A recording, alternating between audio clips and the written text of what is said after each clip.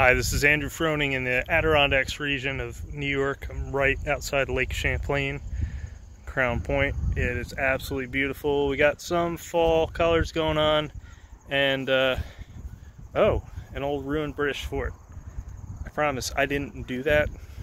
Um, but right now I'm here to talk about my short film, which is an official selection of International Film Festival Manhattan 2022 called The Door. I directed and co-wrote this with a very good friend, and we're very excited to have this film featured.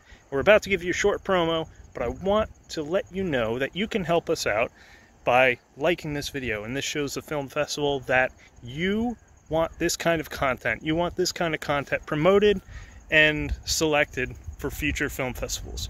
Short horror films. Everybody loves them.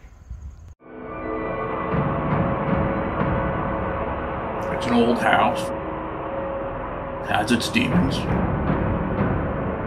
Just like the rest of us.